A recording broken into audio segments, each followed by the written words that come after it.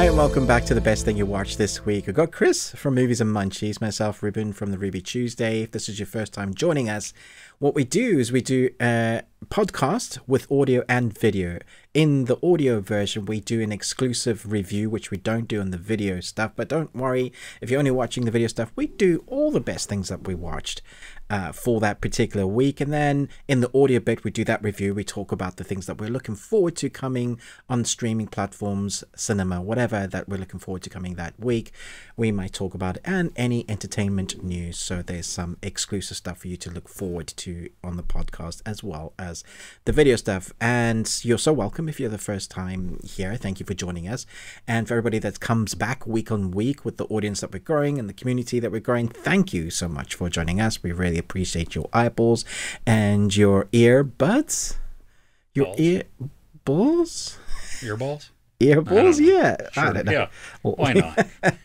uh, we also do a Patreon, and this week we're going to be talking about the highest streaming TV series and possibly movies of 2022. I think that'll be an interesting discussion. We have over 45 videos on Patreon there at the moment, ranging from craziness to uh, just you know a little bit in depth more of discussions of TV series, what have you, on various tiers. But the way we start every week is we do a video quiz and a question. And the video quiz is always about reviews. No, the video quiz is about movies. um, normally. And uh, I'm going to let Chris take it on from here. I'm going to do a quote from a review, and you have to guess which review. it is. right. Yeah, that would be so weird. My brain. Oh, goodness. Okay. Well, and also before we begin, um, I think we need to, to draw special attention to our attire. Um, somebody had said in the comments, Ruben, you should wear a flannel. Chris, you should wear a t shirt. There you go. We we swapped. Ruben's got a just a snazzy. Oh, I use the word snazzy. I sound like my grandfather. An outstanding looking flannel there. So, hmm, good Yeah. choice. All right. Well, for our movie quote quiz, last week um, we had a new winner, which was outstanding, Matthew, who got all three.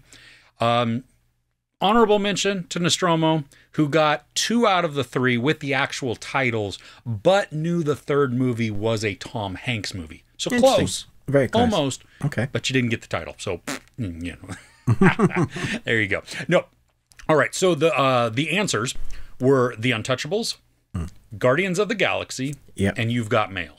Yeah. I didn't get you got mail. No, it, it was more of an obscure one. That was that was a harder one. I, I definitely admit it's yeah. It might noodle you a little bit, like niggle on your brain. Like I've heard that, but mm, yeah, placing it. If I heard it, I wouldn't be able to have placed it either. Okay. Uh today's though, I'm going fairly easy. I think. Okay. I think they're easy. Okay. So Let's do it. okay, number one. Dishes are done, man. Okay. Yeah. Okay. I think I know Number who it two. is. Yeah. Okay. I like there's a part in be- before that where I could do a sound effect, but I'm not going to because I think that gives it too much away. All right. Uh, anyway, okay. Uh, number two. He's not Judge Judy, an executioner. Hmm. Yep. I couldn't do the accent and do the thing, so there you go. You get me. Um, okay. And number three. Congratulations, you're stupid in three languages. It's a great one. Yeah. Right. I love that one. It's a really one. Not, not not a massive fan of the movie, but the quote is outstanding in that scene. It is good. So, Yeah. if you have guesses, put your guesses to, of the movie titles down below in the comments. Um, we'll give you a shout out next week. Yeah. So, uh, now, Ruben, do you have a question for us? I do, and I think it's a little bit on on topic with what's happening at the moment in the entertainment world. We've had uh, all of the Oscar nominations go out this week. You know, we're just coming off BAFTAs. We we having uh, the what are they called? The Zavies? No, the Oh, Razzies? the Razzies. Thank you. Yes. and a little bit of controversy of them having to retract some of their because they like nominated a really young girl, and people like you can't do that. It's a kid. Stop it. That's me. Uh, yeah. come on, man. um, so my question is, we have a lot of award ceremonies. is the Oscars because the Oscars used to be the one that was th- the thing that everybody aspired to. Are the Oscars relevant? Do we even need them? Or are they just for the actors to celebrate the job that they're doing? Because it used to be a big televised thing where people used to enjoy watching it. And I think there's still some that do, but I think it's mostly those that are in the entertainment industry, those maybe film critics or part of the crew that have been part of the film or a part of entertainment somehow that watch it because it means something to them because it might be somehow related to the job or their life. But I think in the zeitgeist of what people caring about whether the rich people go out into the red carpets and, you know, what they're wearing. Who am I wearing today, Bob? Uh, with how pretentious it's been getting over the last few years, you know, and then the silliness of like Will Smith slapping, you know, over a, a, stupid joke that shouldn't have been said, but him thinking that it's okay for him to hit another person in front of millions of people. Before that, during the the COVID, we had the most ridiculous televised uh, um, ceremony. That was bonkers. That was a weird ceremony. Mm-hmm. Do we need it? I would argue no, we don't. Um, I think people are going to tune in this year because of the controversy of last year, with just the the zaniness of Will Smith and what antics got up. So I think people are going to be hoping maybe that mm. something else weird like that spectacle happens. Yeah. Um, I don't think it's going to. I think they're going to be much on like on edge and mm. ready for any type of strangeness that could happen, any type of drama like that. Um, I mean, you, you nailed it on your head with it's it's the the actors giving themselves awards. Yeah, you know, it, it I think it helps them from a marketable standpoint, maybe within studios. There used to be a time where when you would see Academy Award winner, you know, with you know Academy Award nominee, and that meant something. And now I don't, I don't know. I mean, first off, we have so many award shows. Yeah right? That it, and for as many problems as I think the Golden Globes have, especially with their their hierarchy and their just behind the scenes, their organization itself, um, just from how not current with the times, how not appropriate when it comes to equity versus race and gender and sexuality and all of that. Um, I think though they, it is a better premise, maybe, because it's not actors or those in the entertainment industry necessarily nominating, it's the Foreign Press Association. And so I think something like that. Maybe we don't necessarily need the Golden Globes either, but something like that mm. that that does um draw attention to the hard work that you know of the of these these people that rises to the top um, to be recognized for you know for well done. I mean, some of that you're just paid. You know, we but in a regular job, a lot of the times you'll have an employee of the month or something like that, and so that's kind of like what this is a little bit. You know, it's a performance review. You did a great job. You get a you get a raise this year. Okay, cool. Um, as far as relevancy, though, I don't know how much. Um, like I barely watch anymore. Uh, I didn't watch the Golden Globes. I just I looked at the winners. That's yeah. all I cared about. It was just I just was curious who won, you know, because some of the things where I was just I was just disappointed that they didn't even get nominated or how oh that's weird, you know, and so how about yeah. you though? Yeah, uh, even even being part of, you know, because we're in this industry and we have been yeah. for many years in one way or another.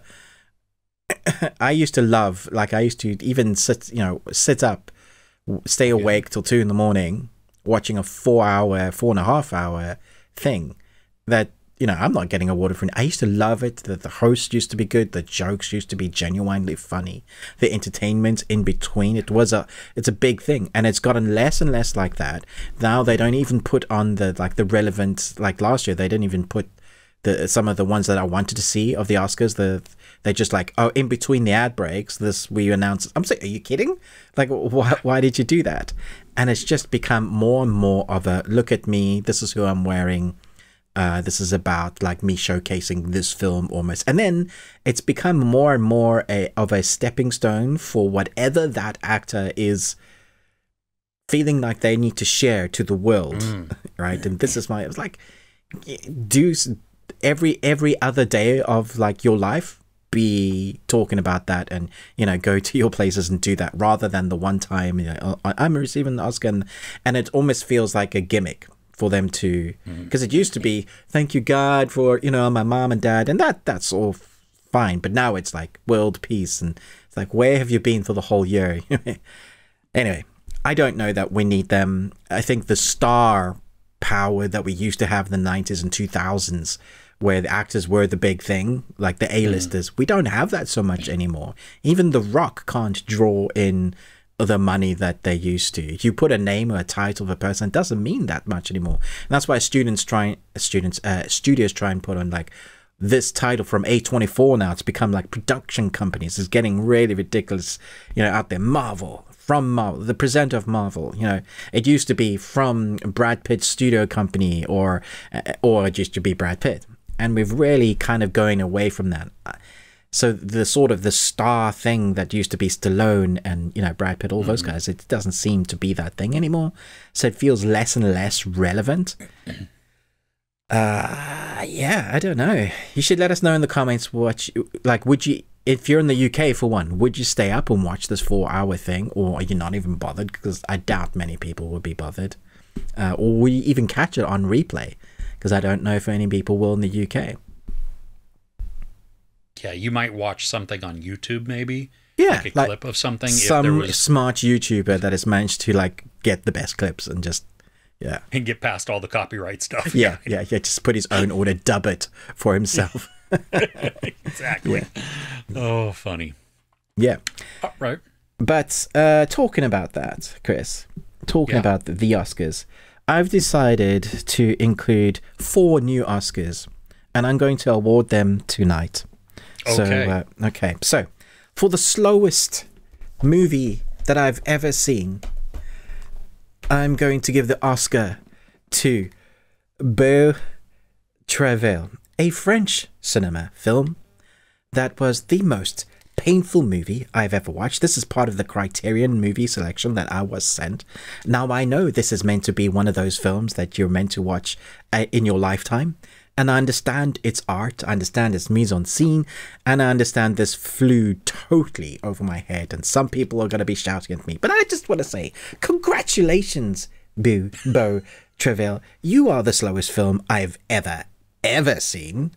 You win the Oscar. How how long is it? Uh, I aged. It's 93 minutes. I aged. wow, ninety three minutes, and you felt the time. That's terrible. Yeah, yeah, yeah. That's I still so- don't know what ah. this movie was about. Oh, see, I got burned a bunch of times by French movies. I've had better experiences as of late, but there was there was a period in the early mid '90s there where I was just like, "What the? I don't even. I I must be missing something huge, like it's a cultural thing or something, you know." And but Uh, and for the second Oscar, uh, Yes. for the worst pilot for a new TV series that I've ever seen, Wolfpack. Congratulations! You guys outdid yourselves. I've never seen anything quite like this. Going from B movie horror, where a guy's head is imploded by a deer stamping on it, and me going, wow, you're going there, to the worst dialogue I have ever heard in a pilot. Me going, how did this get greenlit? Take it! So, so Ruben messaged me this week and he told me this. He was like, I've seen the worst pilot ever. And I'm like, ooh, what is it? I'm intrigued. so tell us. So, so those of us that are unaware of what it is or whatever, where would we see it so that we can avoid it? Or if we're really into some just self-flagellation, we can It's, torture it's in ourselves. Paramount Plus. Okay. Uh, it's a new. s- It, the only reason that I started watching is because it's called Wolfpack. I love Uh-huh. me some um, like werewolf series or movies. I'm I'm always into the fantasy stuff. And Wolfpack, I was like, okay, I know what this is about. It's got Sarah Michelle Gellar, and I knew they were going to go teeny with it, sure. but they just they. Are- Are you dumber for having watched it? I'm, I'm complexed because they threw all new lore. I was like, okay, you're doing something different with it. You Oh. just they can do this. But then when I was seeing some of the CG, when I was seeing what they were doing, uh, th- this okay. So when you get bitten, the, the one girl that gets bitten, she had really bad acne, and uh, the the the wolf powers healed her acne. Oh, she, she becomes that's cool. but when she's looking in the mirror, it's so airbrushed, like it's like smooth airbrushed. And then from Oh, then wow. on, they're not really focusing on her face, I guess, because maybe she does have acne. I don't know.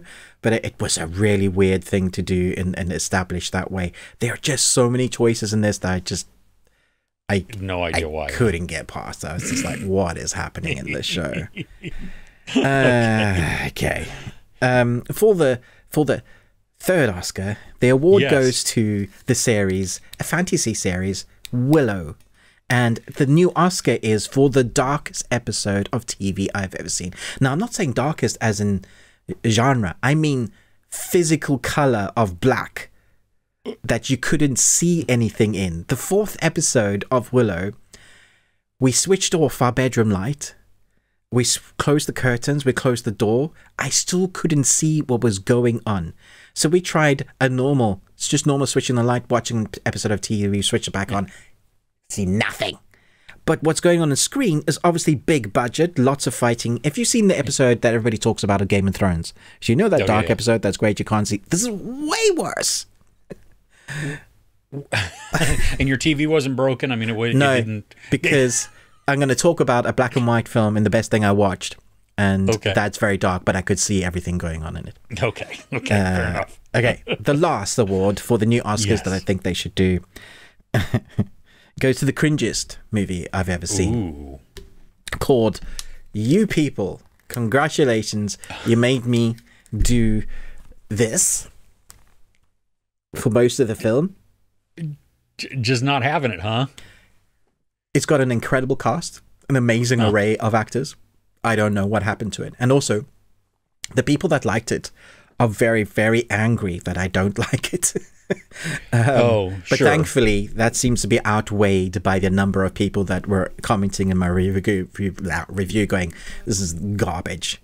This is nonsense. What happened? Why is Eddie Murphy like this? Why haven't they allowed him to be funny? He's just dry and humorless. Why are some of these jokes actually racist when this was the thing that you were trying to point out between Jews and African American? What has happened to the script? That's a bummer. Yeah. It's, you know. So uh, they love me. They really love me. Anyway, that's so. Yeah. I'm not sure you wanted to be included in those new categories for Ruben's Oscars, but hey, congratulations. Look, maybe one biggest nonsense of the week is fine, but four, and they're all hmm. different for different reasons, just terrible. I'm just no. Yeah, you just you had to. I had to have a, a, a hmm. new segment for us. Oscar award goes to. Well, would you like to change the trajectory? Would you like to talk about perhaps the best thing you watched? yes, let's do Okay. it. Let's talk about All good stuff. Cool. Tell me what was it? What was because you've you've told me four things that were horrible. So All right, so uh, to redeem Criterion, there's a film that I didn't know that I needed to see. It's a black and white film. When it, when it, when they made it, uh, they made it with a really incredible cast. They made it. uh it's 1955, so it's quite old. Uh, th- they decided to. The director decided to do it uh, in black and white. He could have done it in color, but it was. It's based on a book. And when it came out, critics didn't know what to do with it.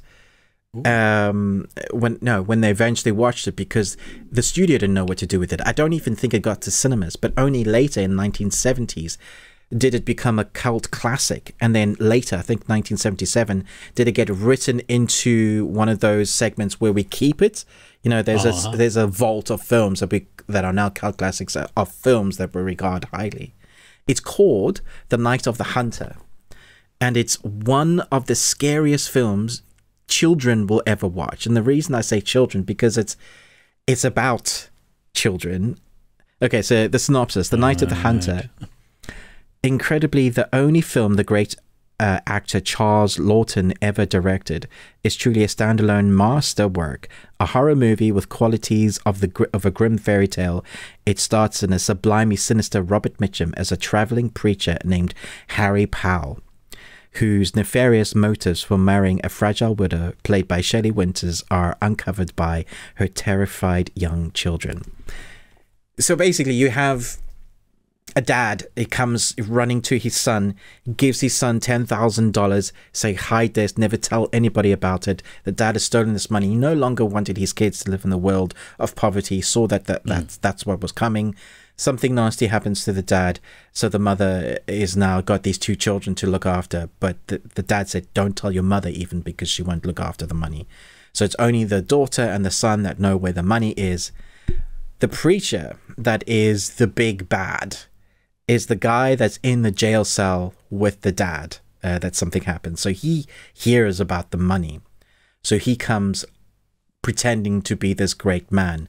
And basically it's it's it's this guy relentlessly hunting these kids uh, trying to find out where the money and for the majority of the film it's just these two kids on their own trying to survive this preacher who has such a menacing aura about him but the way it's filmed is Hitchcockian.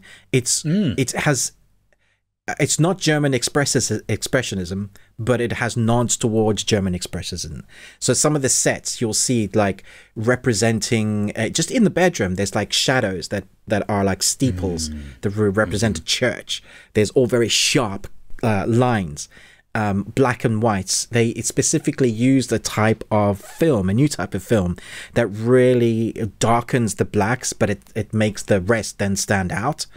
Uh, oh, and this whole okay. crew that filmed this this film was on board the previous film together. So they came, they had practiced using this new this new film mm. that had just come out, and then they came onto this set, and so they knew exactly what to do. So yeah, you get a gothic noir investigation family uh, story that is only a 12, but there are parts of it you was like, well, that's horrific. Even to some of the songs that the children sing, you're like they're singing about a hanging, and then you re- you recognize the references to uh, the other kids who've experienced a hanging. It's just mm. so airy, and it's so in contrast with each other all the time. Seriously, a masterwork. You don't know that you're engrossed until you're like, oh, I'm sitting forward. Okay, it's fine. I'm fine. I'm, I'll sit back again but it's one of those that just kind of grips you. And then when it ends, you're like, wow, that was weird. How have I never seen this movie? Incredible, incredible film. I have never seen this movie, but it's going on my list. So this sounds like because this is one of the the Criterion ones that they sent you, right? The thousand and one movies yeah. that you should see. And okay, yeah. So this sounds like it's a good one, one to actually that you should see. I should nice. put it in context. I did watch the Beau Travail beforehand, and uh, you know, oh. so so maybe anything afterwards is just genius and gold.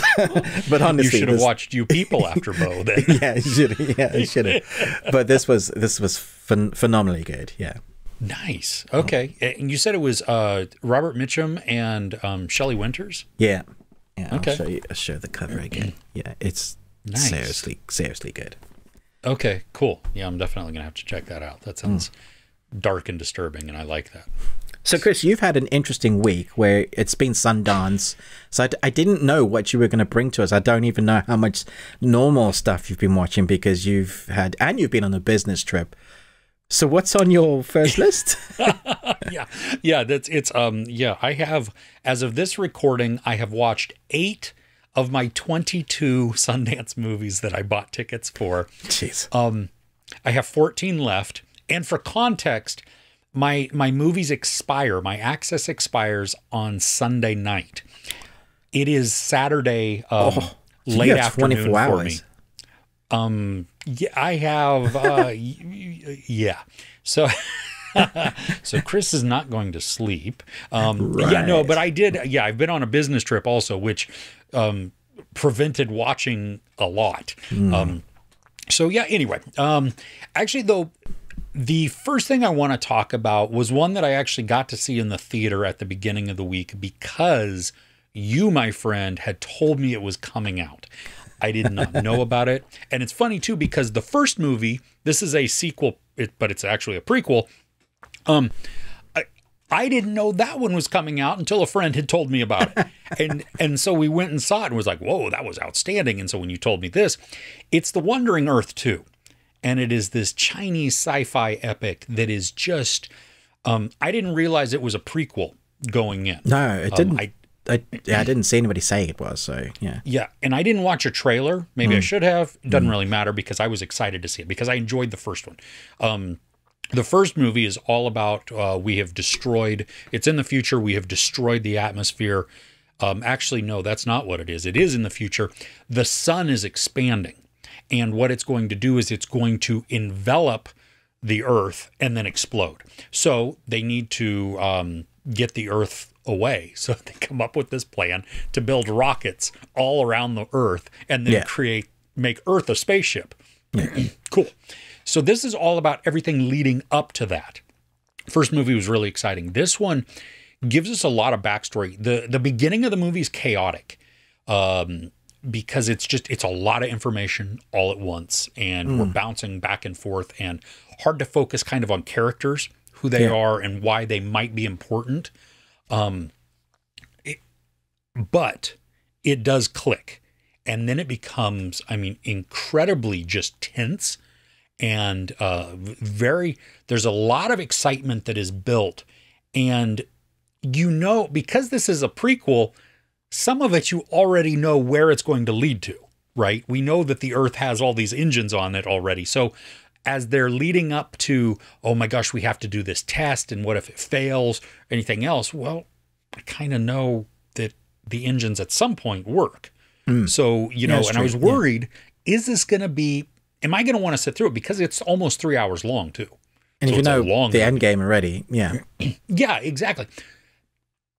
I was riveted.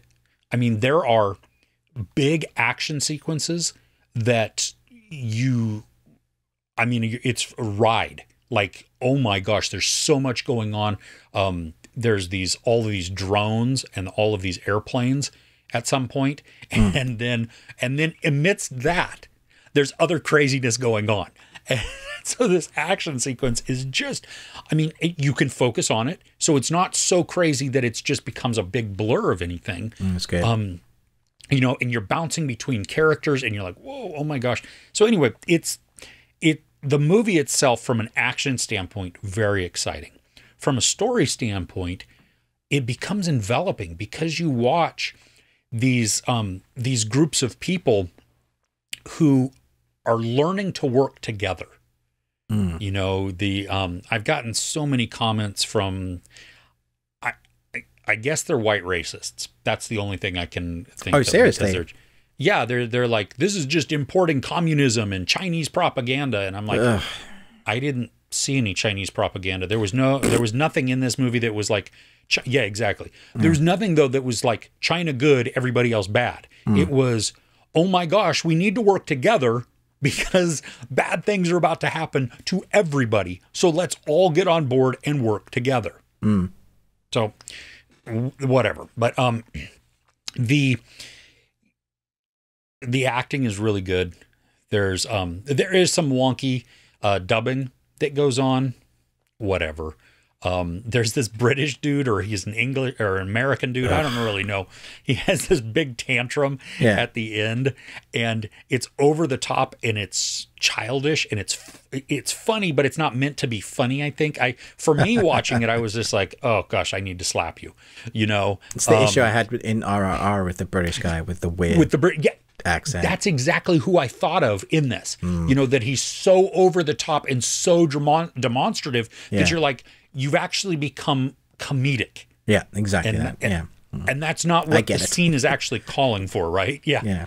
So, um, this this pulls in a lot of different ideas too, because it it has uh some ideas of like a second life type of thing, where Hmm. like AI or you know um, augmented reality or a um, Okay, you know what do we do with like our consciousness Right. you know and so there's these questions that are brought up there and it it plays in deeper and i love at the end of the movie it brings us up to current times Mm. and then it makes you wonder are they going to do a third one? Because Hmm. there is a mid credit scene that introduces some stuff that could point to a third movie. I don't know if it actually is going to or not. Um, and a lot of people in the comments said that there was like 80 minutes that was cut from the movie. Interesting. I wonder if we could so get I like a would- Blu-ray release, like a extended edition. yeah, the full director's cut or whatever. Oh my gosh, that would be outstanding. So this was, I mean, this is definitely. It, it was hard to find it in my area. There were not a lot of theaters that were playing it. Um, it was packed though when I went, which was outstanding. Um, so yeah, I think if you if you enjoy just sci-fi, you know, um, some of it plausible, some of it not. Um, but it doesn't matter because it's also action and it's drama. There's some good emotional beats to it as well. Like I I wasn't sure I was actually going to connect as much with a couple of the characters because at that beginning it is so chaotic and you're just kind of you know you see this relationship begin but it's very quick and yet in that quickness they have these beats that at least for me I connected with because they were emotional in the right amount of like in the right setting. So yeah, Okay. definitely worth uh, worth checking out. If um, I really want you know to the first it, one, but it's it's not showing locally, like you were saying. It's really hard to find. well, the first one came to Netflix within I want to say like a year. Yeah, that's where I saw it. So- Yeah. So maybe a streaming platform. I mean, maybe even Netflix. I don't know, but maybe maybe they will pick up this also and uh, Mm, Fingers crossed. you know yeah. which, yeah exactly which i mean that's how you know that's how we experienced rrr it Hmm. had been in a very limited access in theaters but then the streaming so yeah Um, so yeah, because it Wandering Earth wasn't l- playing locally, there was an Indian movie that's playing locally, and that's called Pathaan. And the more I think about it, the more I think maybe it shouldn't be on the best thing I watched because, and I know everybody's going to hate me, like, ah, why could you say that? Because it is really just it's the story is what you'd expect it. You see the the um I guess you see everything coming. However, I had so Sure. much fun with the ridiculousness of Pathaan that um, that's why it's on here, just because I enjoyed it so much. The action is over the top. It belongs in the 90s with MTV music style Bollywood for uh, like music video style bits. There's only two music videos, one in the middle, one at the end that kind of wraps up the film. It's also part of the Spyverse, which I didn't know. I've actually seen one of them, War. I didn't know that was part of the, the Spyverse film that's on there. Oh, really? It's on Netflix, Okay. yeah. Uh, and apparently there's a couple of other films that we need to go find out with the character that's mentioned in this film uh, that is- he's done two films already. And as far as I can tell, there might be like an Avengers type of movie coming with the Spyverse with all those characters, uh, which would be awesome. But this film, it's, it firstly culture shock for me in the cinema. Uh, I was the only white guy in the cinema, and it was fully packed. And the way people enjoyed it, I think that helps the experience being really enjoyable. A lot of people recording, which I didn't mind at the time because it was like for moments of a particular actor that came on board, they were like "Shing," just recording clips everywhere. and then like when the title come up, the people like recording, and then the woman that were uh, seeing a certain guy shirtless, which happened a number of times. Some I swear were orgasming in like they were they were like slapping the arm uh, of the and they were like oh, oh literally that type of noise. And i was just like oh cool. Like if i did that to a woman i get chucked out and stoned probably but you do you. Um, and uh, then there were other guys checking the emails. So you know that you, have, you have a bit of everything uh, but yeah uh, for the most part really really enjoyable over the top action. I think i mentioned to you there's one action sequence to give you an example. A guy smashes through the window using the someone else as a shield because a grenade is blowing up and he lands on a helicopter blade slides off and then takes on another guy with a roundhouse kick at the bottom. It's that's the sort of movie that you're going to get. It's definitely james bond pierce brosnan era. Mm, that's that's okay. the, the type of thing you're getting. And then more over the top than that I got to tell you. So Ruben messaged me um, this week and he told me about it. He's like, "Yeah, I'm in. There's an intermission. I've seen. I'm actually in a movie that has a proper intermission." I'm like, "Oh, what do you think?" And he tells me, I'm like, "I have no idea what this is." Never heard of it. So I I watched the trailer and I immediately, no joke, immediately text my family. And I'm like, all right, I'm going to see this on Monday night because I knew I couldn't see it this weekend because I had all these Sundance movies. It's like, I'm going to see this on Monday night. Who wants to come with me?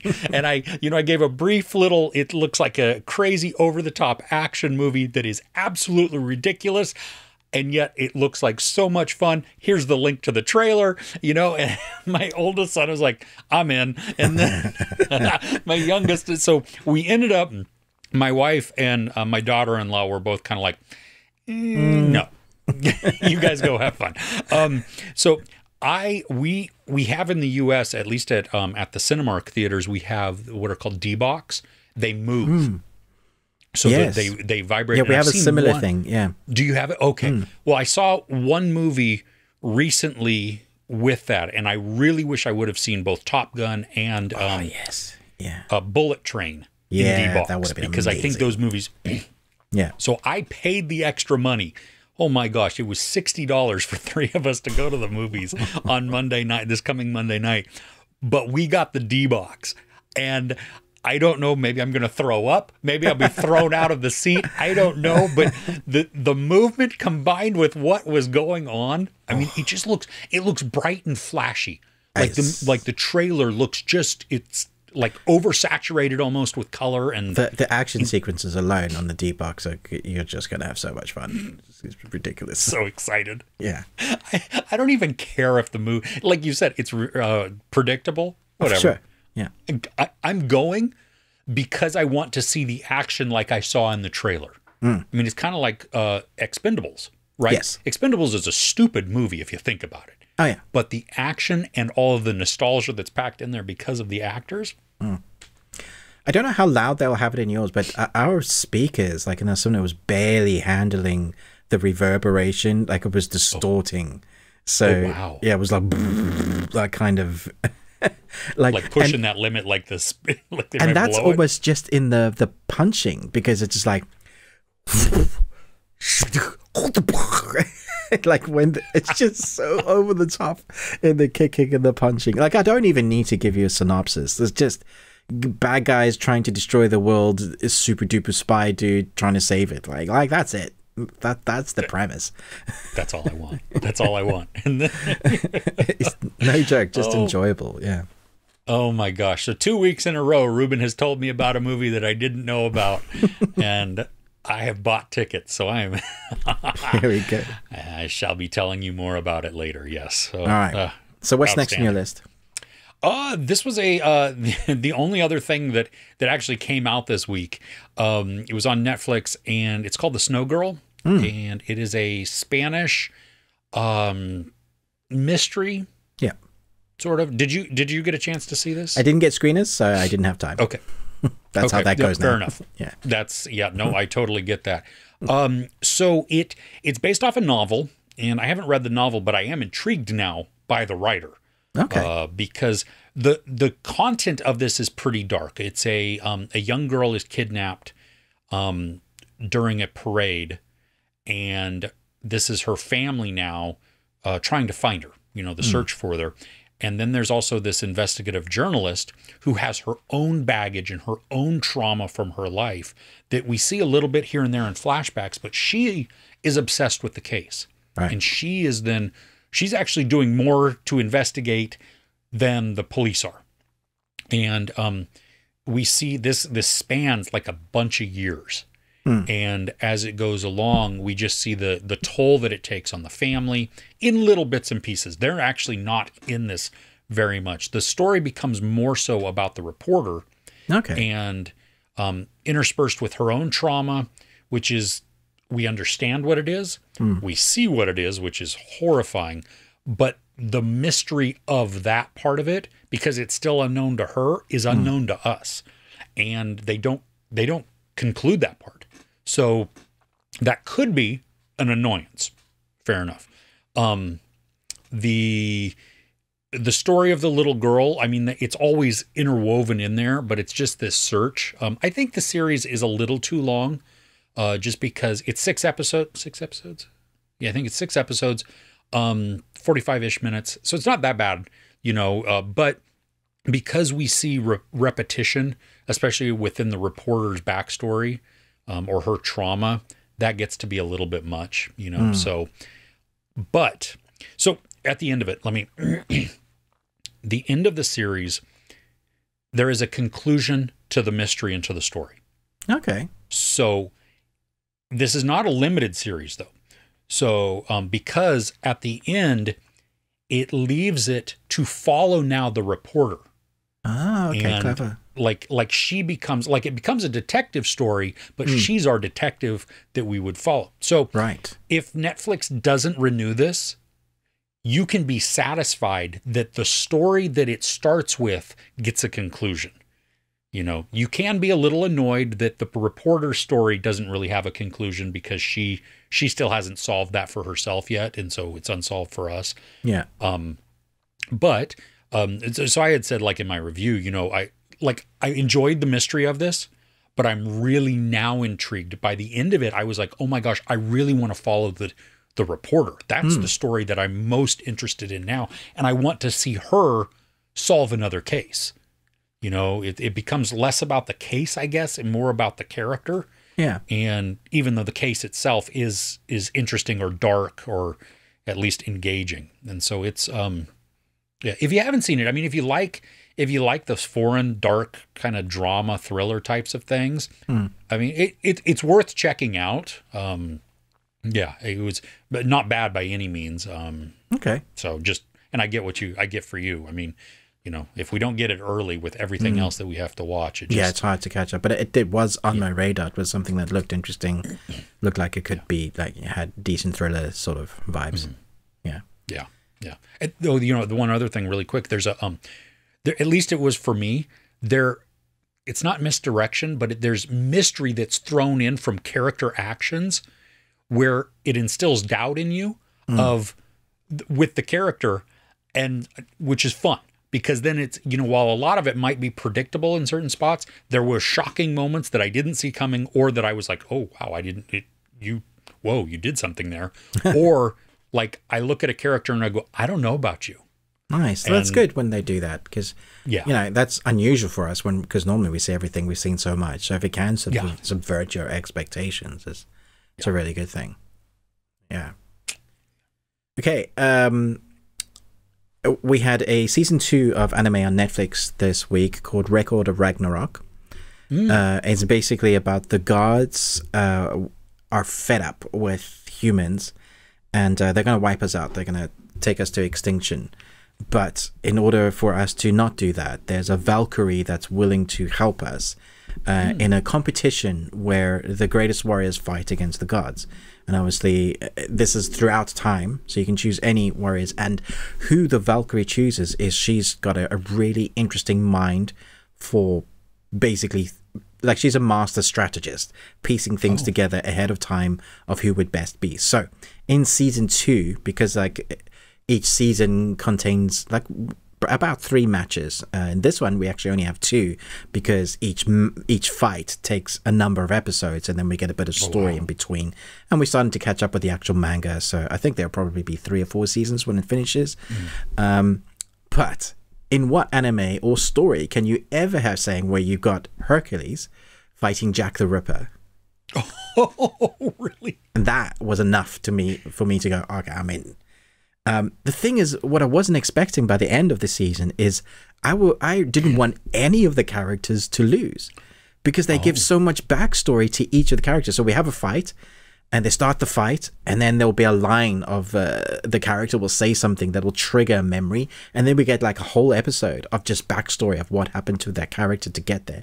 And so we get that on Hercules. We've had lore on Hercules before, but there's so much stuff that like they incorporated to make Hercules' character more likable. I mean, we like him anyway, but and then somehow they made me root for Jack the Ripper, like because and and he's like still he's totally evil, but you understand like him fighting the how he got to where he did like mm-hmm. the, this backstory of ah yeah i see how you got there i don't like anything you did but i understand why you are fighting on humanity's side uh, and why you are the best fighter for that job and so the second one was equally interesting um, i'm trying to remember their names anyway, it's it's just one of those weird animes that doesn't seem to know quite what it is. Are you a fighting anime or are you story? And it tries to toe the line between both. Now, the fans of the actual manga weren't impressed with season one, and I understand that. I didn't mind it, but this season feels like it's took taken a step in the right direction. It's there's still some story that I would have liked another couple of episodes that uh, give us more story in the background of what other characters are doing because they they look so interesting. There's so many different gods. It's not just um like so you got Odin and Zeus, like a mixture of gods there, but you've also got all mm. the Indian gods. You've got you know um uh, Shiva is one of the fighters that we see, oh. uh, which was a fantastic fight and yeah, so just just just numerous really weird guards that you're itching to see more of and their character designs. But it's so much fun. Like I flew by the, the ten episodes, uh, very very quick to watch. Yeah, nice. Uh, what uh, what streaming platform is it on? That's Netflix. Say? Yeah, Netflix. Okay, yeah. nice, cool. So, is the first season like ten episodes also? Yeah, both uh, both ten, both very easy to binge. Nice. Okay, so uh, next on my list, this is actually one that I saw at Sundance, and I have zero clue as to when this is actually going to come out. Um, What's it um, called? It's called Cat Person, oh, and wow. it stars Emilia Jones um, from Coda, and mm. who is also in um, the Key House of Keys. Key, what, what, was that show? Locke and Key. That's what it is. uh, but okay. but the other character in this it's the actor Nicholas Braun. Now, the actor is also in Succession. I have not seen that series yet, but as I'm watching, I'm like, dude, you look so familiar. So I looked him up on IMDb. And do you remember Sky High? I can mm. remember Sky High, right? Of course. That's so, a great So you great know film. the the really tall blonde haired kid who just glows in the dark, that was his sidekick. you know, he is the other star in this movie. Hmm. So, so yeah, which is which is funny because he's really really tall and Emilia Jones is really not tall. Yeah. So the, she's, the, anyway, this is an uncomfortable and haunting movie. Um, right. My wife and I were talking about it the other day because it has stuck with us after watching it. Um, it's about this couple, well, these two people, and the movie examines what is said and unsaid and how that that poor communication uh, whether through self-censoring or through uh, body language or feeling what the other person you know you, like you take on what the other person you assume they're feeling or thinking. And so you don't say something or you interpret what they say. It's all about i mean all of the bad communication that happens within individuals and then couples. And you then take that and make it as a romance into a thriller. Huh. And it is That's different. It it is and I'm sure I'm sure when people see it they're going to be mixed on how they feel about it because there's a, there's a gut reaction that you have to it, but then mm. I think as you as you step back from it and then you start having conversations about how each of the characters contribute to the the poor actions mm. and and how it messes each other up and stuff. I think um like it's not easy. You you could just blanket and be like oh well it's him because he does this or it's her because she does this. But i don't think it's that cut and dry and i don't think it's that simple. I think there are so many layers to this where you can look at her and go, well, duh, she would totally react this way because he's acting like this. But then you could also look at him and go, well, he's acting like this because he's picking up on this. You know, um, there's some fantastical elements within this. So we get to see inside the characters' heads of how they imagine a scenario going. Oh, that's interesting. Um, yeah, which, yeah. Well, it also, though, sets up for a couple of times where you're like, is this really happening? yeah, of course. or is yeah, it, you know what I mean? Because yeah. Yeah. Um, it's overall, I really, really enjoyed it, um, and more so because of the discussion that it creates surrounding um, the story and the com the the content and the actual the execution of what these actors do. You know what the characters are going undergoing. Um, it was funny too because uh, before the movie starts, um, at least in the streaming ones, I don't know if it happens in person or not, but uh, there's a brief little discussion with the director, and so you get to hear sometimes some of their insight or why they made this or why this was special to them or whatever.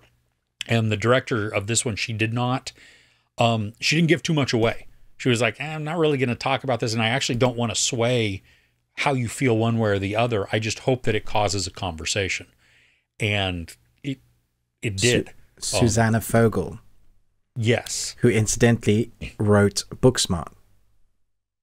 Yeah. Yeah. Which I, I'm eh, half and half on that movie, you know?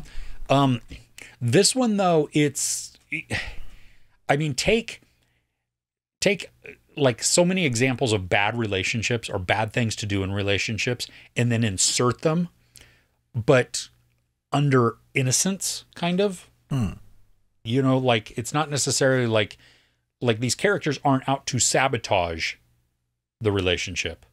Sometimes their actions just do that because of you know and then you can also go back to oh well we see part of a family here and then this influences why a character might act this way whatever. So So the performances and the story must have been riveting enough to keep you engaged and watching if it's on the best thing you watch. Because I find with these particular stories, it's normally hit or miss. There's no in between. Like they're either good or they're not. yeah and it was it, it is a little slow i think there's a point where and i and that could be because i misread the time i thought it was going to be like 90 minutes and it's really two hours Okay. And so that could have been my own mental thing of like, you know, oh, I I thought this was going to be shorter. Um there is a discomfort in it. You know, that you have through it. But yeah, it was riveting. I mean, I was I was very engaged in the conversations because we're able to as sitting outside of it to look in to both characters and be like, dude, don't be like that. Dude, Yeah. don't be like that, you know? Um, remember that okay, so the series that you told me about, um, Eternally Confused and Eager for Love. Yes. Remember that? The- the- Okay. Wonderful series Yes. the there's a point in there where the guy the main character is talking to his dad and it, it's all about and he had been having this conversation where he he passes a woman like he doesn't know what to do you know when following a woman it makes them uncomfortable you know he gets that insight of um well if i'm walking too close behind a woman who's walking by herself that makes her uncomfortable you know and so he's like oh so i overtook her i sped up to go around and the dad's like you overtook just chasing the, this girl at night. Yeah. the whole thing. It's just bad. You but but when you hear it from his perspective, he wasn't trying to be creepy hmm. or you know or or anything like that or threatening or anything but that's exactly how it came across and so you have some of those elements within this story that's where it it not they're they're kind of comedic here and there, but more so it is. I mean, it it like it bugs you a little bit in your soul, and so it's yeah. It's I I can't wait to see who picks this up. Um, I could see it as a well, I could see it going to to like a streaming platform really easily. Um, but I do hope that it gets a distribution within theaters, and then it, yeah. So good stuff. Nice. Okay. So next on my list Yes. is something that I'm a little bit disappointed that people don't seem to be gravitating towards because it deserves to be watched by everybody and everybody should be watching this. But I could I could say the same about Ted Lasso. A lot of people were late to the game with Ted Lasso. And mm. once people started getting into it, they were like, this is genius. And then, I mean, I was late to the game. I didn't, I think I watched the first episode and I just didn't buy it. And then you were like, Ted Lasso is amazing. What are you talking about? And then I watched a few more and then I'd watched all of them and I was like, when is the next season out? Give it to me now. So, from the creators of Ted Lasso, um, Brett Goldstein is one of the creators in this series. Uh, Shrinking stars Jason Segel and Harrison Ford. Uh, as a grieving therapist starts to tell his clients exactly what he thinks, ignoring his training and ethics, he finds himself making huge changes to people's lives. So there are 10 episodes, they're half an hour long, uh, very easy to binge. And what surprised me is sorry, my camera's doing a weird thing. What surprised me is, and uh, no shame, I found myself crying in one episode. In, in in like I think it was halfway through one episode, and then literally the next line I was bursting out laughing. Wow! And it got me a number of times like that.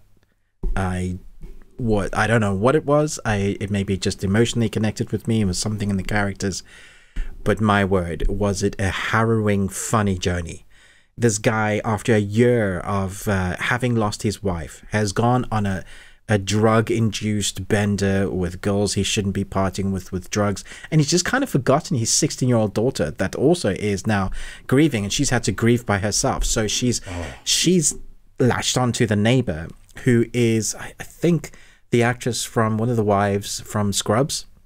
I think it's also from the creators of scrubs. Um she's phenomenal. Who is it? Christa Miller Yes. Yeah. My God. Okay. My gosh. When you get these guys together on screen and they're just bantering with each other, it feels like they've known each other and they've been doing this series for 10 years. It feels like you're on the 10th season of Friends, and that's how close and quick it, it, the tight knitted the group is.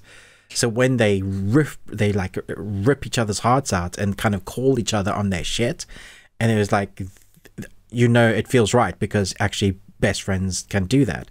Mm. The thing is that it gives time to the side characters. You feel like you know them, but also it's just the journey of the dad starting to come into a place where he's starting to realize that he needs to sort himself out, trying to get his daughter's forgiveness for leaving her alone for the most intense part of her life and then we see it from the daughter's uh, perspective. We see it from the neighbors who are actually really good friends with the wife. The wife who's left a massive gap, not just in the father's life, but in the daughter's, in the neighbors, in her best friends who happen to be a close the community, and how this death affected everyone, not just the dad. Once the dad starts realizing that, he's got a lot of things to fix. Then we get the side of the psychiatry where he's with his patients, he's decided to try a new tactic and that is where it's gold because we have those two worlds colliding in the best way. And I love it. I mean, I just, by the time I, I hit end, the next, not the next day, the day after that, I made my wife start watching it with me again. And I started watching it again through the second time. That's oh, wow. how good this series is. Nice. So are you saying uh, so Harrison Ford is the shrink, right? He's the the psychiatrist. Harrison Ford is the boss of the shrink. Um, oh yeah, it's a it's a business, but he's also kind okay. of surrogate dad to the character Jimmy, who's Jason Segel, and we have a third psychiatrist who's also sort of best friend, who was best friend to Jimmy's wife, um, okay. and she I'm trying to oh what the hell was her name? She fantastic actress. Oh. Jessica Williams, who plays Gabby. Uh, she's incredible so that you have three psychiatrists. They, they, we see them go to work. They they banter with each other. Harrison Ford's like Big Daddy, and he's in charge of the practice as well. But he also knows like what's been going on with Jason Segel. Uh, there are moments where Harrison Ford is so dry, like with his humor, that I just you know immediately cracked up. And then there are other moments when you get to see what's going on in his life, that he has an emotional range where he's shouting at someone on screen in a, like an emotional way. And I was like, I was not expecting that from Harrison Ford. I haven't mm. seen Harrison Ford being allowed to act this way in years, and he's been doing Star Wars and uh, flipping Indy for so long that we don't get the fugitive movies anymore from him. But mm-hmm. if you, you remember back in the day, he was phenomenal. Like. Yeah. So it was so great, and I was worried because I think I remember mem- remember mentioning to you that Harrison Ford's getting on now. He's seventy five. Yeah you know, it, can he still, does he still have that presence? Well, for one, he's got the suaveness, like, dude oozes just coolness. Mm. But then he's still got the acting chops, and giving the, the right script, the, the right dialogue, can bring it out. Him and Jason Segel, their relationship is fantastic. And then Jason Segel and the daughter is fantastic. Then Jason Segel and the partner, I think this is Jason Segel's best work because it it brings out his perfect slapstick comedy that he has done so many times, like a Seth Rogen type of movie that we've seen in Done to Death. But he takes that bit and then puts it in reality with drama, and it just works. It's so good. Nice. Okay, so let me ask you because Apple does these uh, weekly. Oh my Right. gosh, it- no, no, it's too painful. Okay, so like on- once I started, I was like, yeah, I'm just gonna watch the first two because they're just dropping the first two on Friday and then it's Uh-huh. weekly. And then I watched the all all nine. oh, it's not ten. Yeah, it's all nine episodes. okay, Uh, yeah, maybe wait. okay, so it's so it's better. It's one of these that like you watch like in chunks. Could I? Yeah, chunks would be good. Yeah, three Okay. episodes at once. That could be good. Yeah. Okay. Okay. Yeah, because I it kills me with the with the weekly Yeah, release man. of a short episode. You know. Yeah. Hmm. Yeah. Ah, And and okay. some some of them are doozies the way they leave them. Yeah. nice. Well, it, it looks great. I mean, that's the th- you know I I like a lot of the actors in there, so that's that's outstanding. And to I mean, I'm intrigued also by Jason Segel's character just deciding to abandon maybe the the what the therapist is supposed He's to say. he's just reached his wits end, and his clients like he's had a year, the worst year of his life, and his clients, the some that he's been treating for over two years, not making a single bit of difference. So he's at that point. There's a moment like, okay, no, I'm just gonna we're gonna do this. Oh, funny.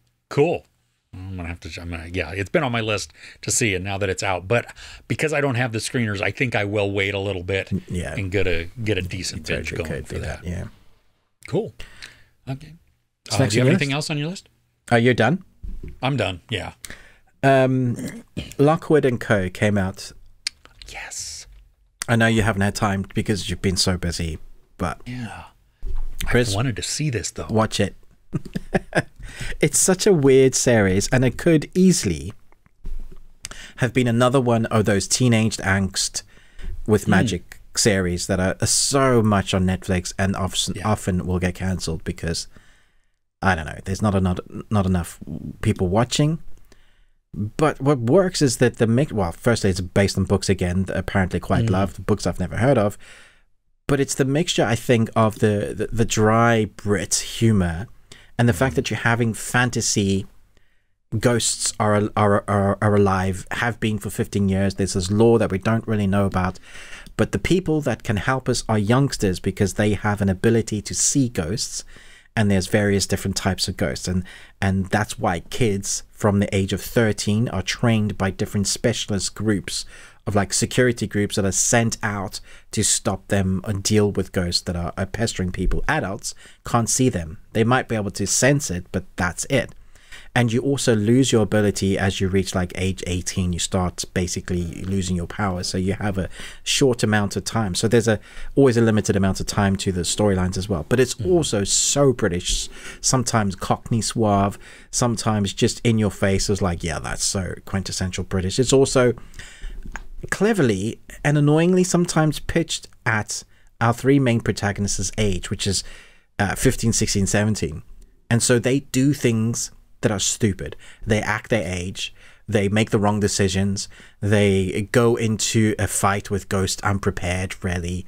Even though they should know better, they they're like, I'm I'm I'm flying on hormones and I'm flying on stupidity. I got to prove myself to this girl next to me who's pretty hot, and I, I want to show her that I'm actually I'm a I'm a man. Although I'm 16, I'm a man. And so they do they find themselves in, in situations that are ridiculous. Now it's Lockwood and Co. And Lockwood is this young kid who's inherited the house and he's trying to keep it and pay for it himself. There's no adult in charge of Lockwood and Co. All the other ones have big adults that are basically like parenting the, the, the young Yeah. group and training them. Uh, you all have to have a certain amount of training to be able to go into it. So you have like different licenses. And our Lockwood and Co. inherit this girl that's, I think she's an orphan, and she comes in and she has an ability that's like fairly strong. So there, there's three of them, and they come up against other like youngsters that are like you know bickering, like who's going to get the job. but they are always messing up on one case to the next. They go from one craziness to the next, but there's also a really nice arc that interweaves itself in between the cases that they find themselves having to to filter through. So you, you have a sort of a an arc or storyline finished at the end of season one, but there's so much coming, which makes me worried because it's Netflix and it's very good. And anytime I say it's very good and it's Netflix, they cancel it. And I saw an article just this week when Netflix CEO said, "No, we've never cancelled anything that's been popular. That's not been. That's not our." I don't like. That's that's that's That- bullcrap because that is eighteen ninety nine was on your top ten, like in your top five for weeks. It was like had so many views. You're telling me that's like the other things. There's so many of those series that were doing well that had views. I I don't believe that for a second.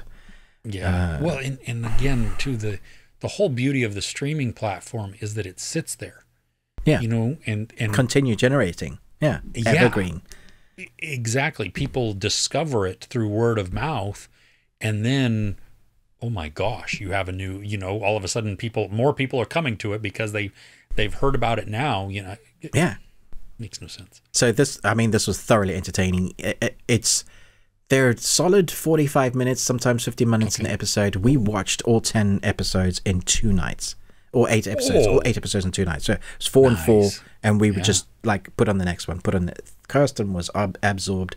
It's the quirkiness of the sword fighting with the ghosts and the Mm. the, the Britishness and set in London areas.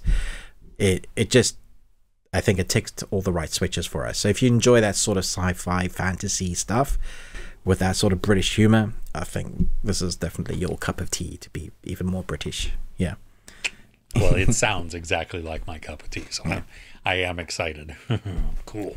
Lastly, I have one more. I'll be quick. This is, it's a part one and two. To my shame, I've never owned these, and I think I've never seen both films through. It's one of those films that when it's on, well, I would say back in the day before streaming, when you're flicking through channels and it's late at night, you can't sleep. It's one of those films that come on and you're like, ah, I'll watch a bit of that. And it's one of Jackie Chan's films. Uh, Oh have you ever watched Armor of God? no, I've never. Okay, cool. So there's Armor of God 1 and 2. Let me show you the artwork. Here you go. Ooh.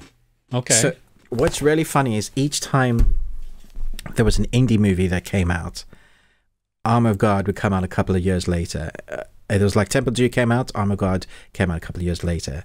And there's a lot of references or like set pieces that are very similar to that Indy movie. So if you Oh. take Jackie Chan, big set pieces, lots of stunt work that it's all done by very young Jackie, like v- super young Jackie, mm. whose name is actually Jackie Chan in the movie, but he goes by he's a Tomb Raider and he goes by like a Hawk is another, another name, and he, that's how it starts off with exactly like Indy. It starts off with he's raiding something. It's definitely Jackie's version of Indy.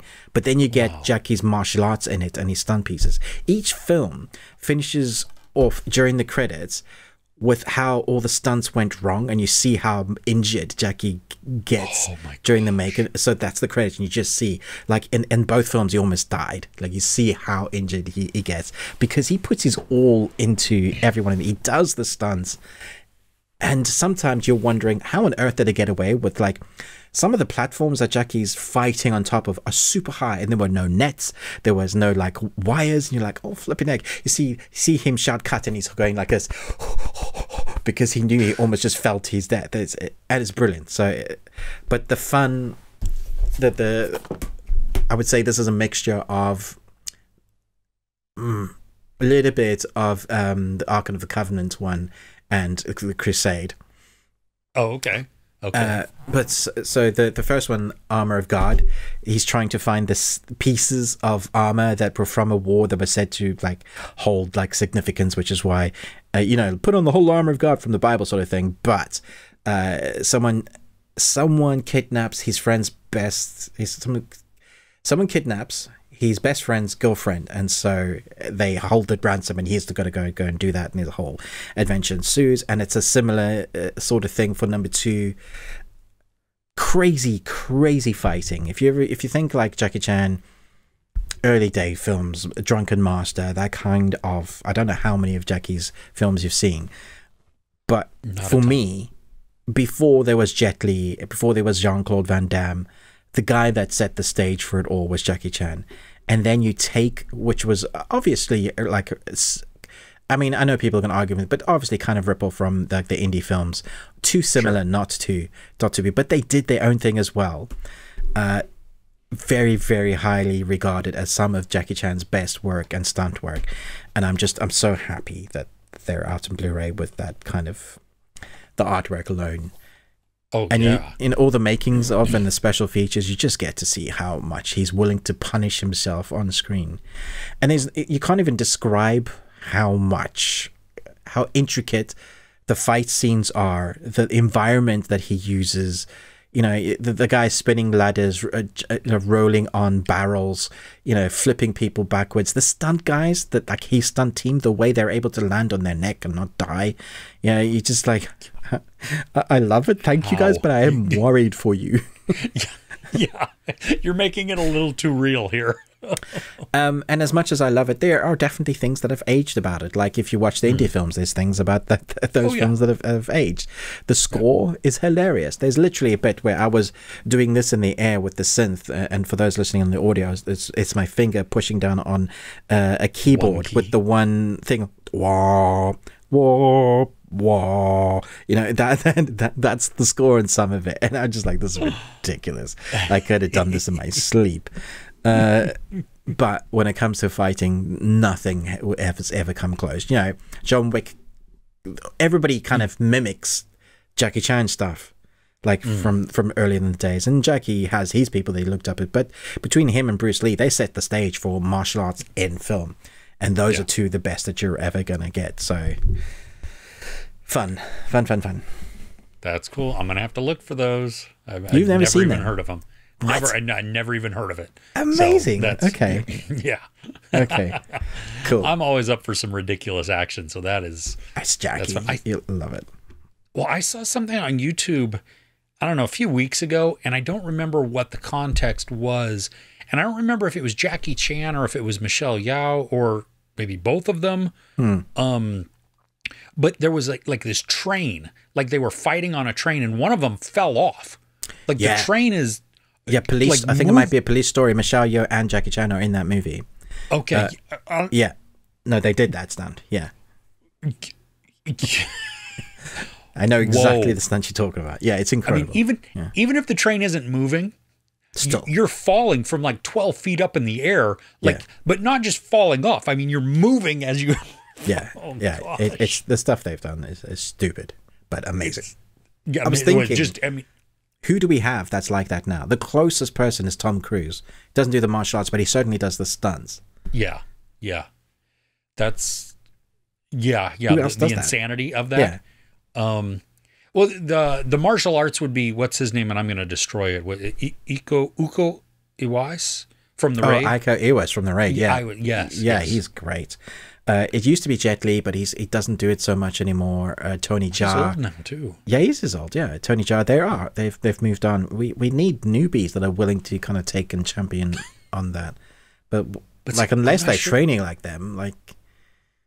I'm not sure though that we're going to get a lot of that just because, it, uh, at least from any studio movies. Yeah, not willing to license, say. The, yeah, because yeah. of the liability there. I mean, like you need to have your own production company, like Tom Cruise. exactly, exactly.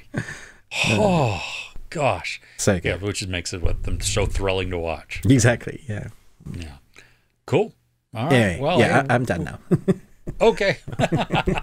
we we thank you so much for watching. Uh, please don't forget to share, like, subscribe. Ruben with the Ruby Tuesday.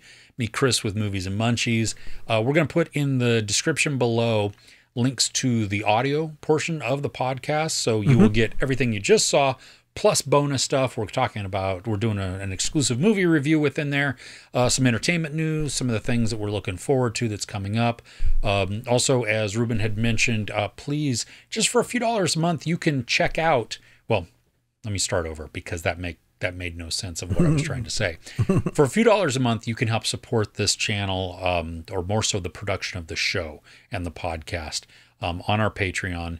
Uh, you can check it out at any time, patreon.com slash the bearded ones. It's also linked in the description below there. Uh, like Ruben said, we have over 40 videos in there. Some is ridiculousness, some is movie reviews, some is that's good grammar. Some, Some is are movie reviews, some is R. Yes. Um uh, we we yeah we have movie reviews. We talk about entertainment. We dive into uh, some news topics. Then there's also just some ridiculousness. Also, um, there's a part where I give Ruben diabetes, um, and um, yeah. So we invite, invite you to check that out there. Uh, you can always tweet at us at best we watched. And uh, with that, hey, we thank you. We will see you next week. All right, take care.